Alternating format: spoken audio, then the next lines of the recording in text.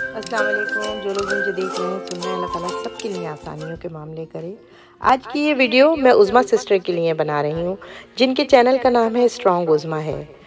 इनके हंड्रेड के कंप्लीट हुए यानी कि एक लाख सब्सक्राइबर, माशाल्लाह से। तो उस्मा सिस्टर, आपको आपके एक लाख सब्सक्राइबर पूरे होने पर मैं बहुत मुबारकबाद देती हूँ। अल्लाह आपको बहुत कामयाबी दे। जिस तरह आप लोगों की हेल्प कर रही हैं और उन लोगों के लिए काम कर रही हैं तो उनकी दुआएँ आपके साथ हैं।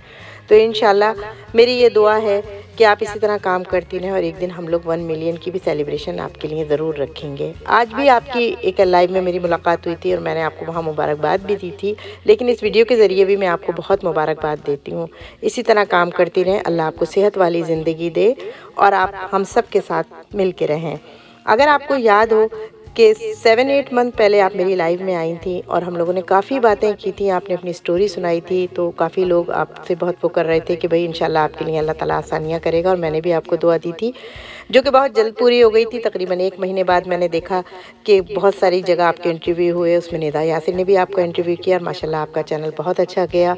तो सबकी दुआएँ थी, लेकिन एक बात मैं फिर कहूँगी उसमा सिस्टर मुझे मत भूलिएगा, सबसे पहले आपका इंटरव्यू मैंने अपनी लाइव में लिया था, याद होगा सेवन एट मंथ पहले।